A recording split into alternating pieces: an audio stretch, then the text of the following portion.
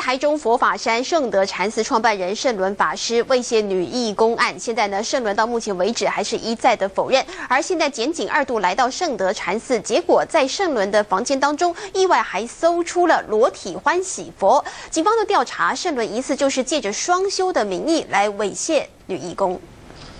涉嫌猥亵女义工的圣伦法师已经被法院裁定收押，但是圣伦到目前为止还是否认猥亵。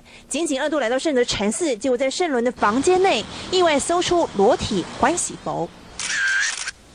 圣伦法师为何要收藏裸体欢喜佛，让信徒很意外。警方也查扣当成重要证物。所谓欢喜佛是属于藏传佛教中男女交合的密宗佛像，男的代表慈悲，女的代表智慧，而且男女都是裸体。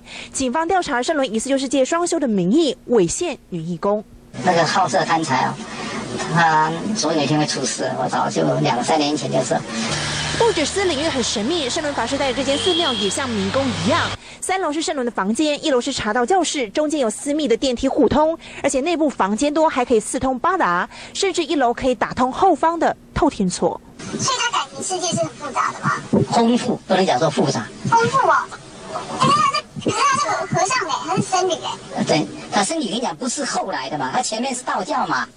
圣如云在否认猥亵女义工，但是仅仅不放弃，二度搜索圣的产寺，除了带回欢喜佛，还有不少相关证物，要加速厘清猥亵案的幕后真相。陆讯台中综合报道。